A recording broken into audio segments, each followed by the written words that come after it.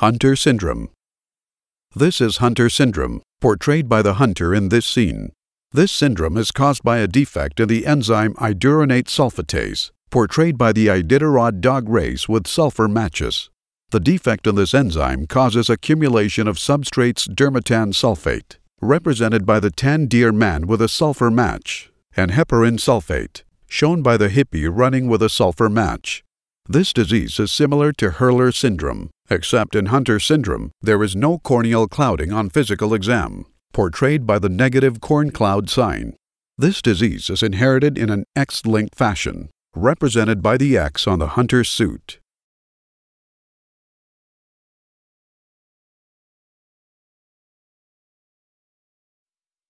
This hunter is in it to win it, and he refuses to let his vision be clouded by corn. He and Deerman have put aside their differences in order to win the Iditarod race.